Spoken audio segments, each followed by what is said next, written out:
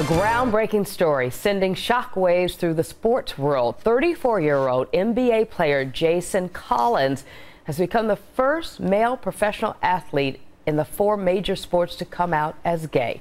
The center is making the announcement in a new issue of Sports Illustrated that hits newsstands this week. Collins played this past season with the Washington Wizards after spending time with the Nets. NBA Commissioner David Stern released a statement that said in part, quote, Jason has been a widely respected player and teammate throughout his career, and we are proud he has assumed the leadership mantle on this very important issue.